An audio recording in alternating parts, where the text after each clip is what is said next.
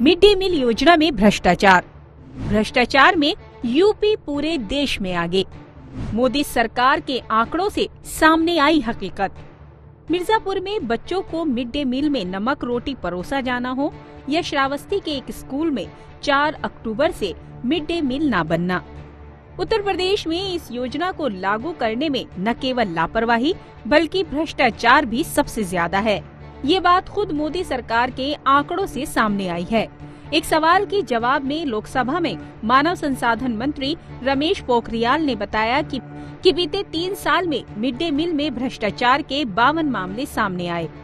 इनमें से 30 फ़ीसदी ऐसी ज़्यादा, यानी 14 मामले उत्तर प्रदेश में पाए गए।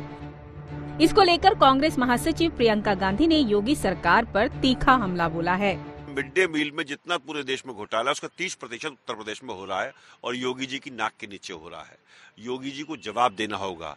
हम कांग्रेस पार्टी की तरफ़ से योगी जी के बारे में कहना चाहेंगे कि चोरों के हेतु ठगों के बल हैं जिनके प्रताप से पलते पाप सकल है। मिड डे मील योजना में भ्रष्टाचार के सामने आए ये मामले साल 2017, 2018 और 2019 से जुड़े हैं। इनमें भ्रष्टाचार के 11 मामलों के साथ बिहार दूसरे, जबकि 6 मामलों के साथ पश्चिम बंगाल तीसरे नंबर पर है। ध्यान, भोजन, बच्चों की खाद्य सुरक्षा की जरूरतों के, को नज़र में रखते हुए बनाया गया था। हमारे देश में कुपोषण की स्थितियाँ बहुत गंभीर हैं।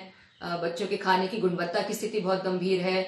इस स्थिति में ऐसे कार्यक्रम पे अगर कोई भ्रष्टाचार करता है तो ये सच में बहुत दुखद है। योजना में भ्रष्टाचार और लापरवाही को देखते हुए राज्यसभा में मिड डे मील योजना की पूरी तरह से समीक्षा की जाने की मांग उठी।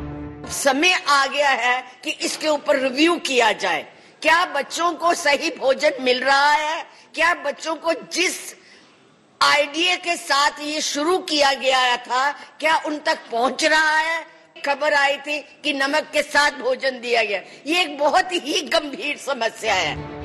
केंद्र सरकार ने भले ही राज्य सरकारों से अब तक की गई कार्रवाई की रिपोर्ट मांगी हो, लेकिन सवाल ये है कि क्या इतनी कार्रवाई भर से मिड डे मील योजना के मकसद को खटाई में डालने वाले इस भ्रष्टाचार पर लगाम लग पाएगी?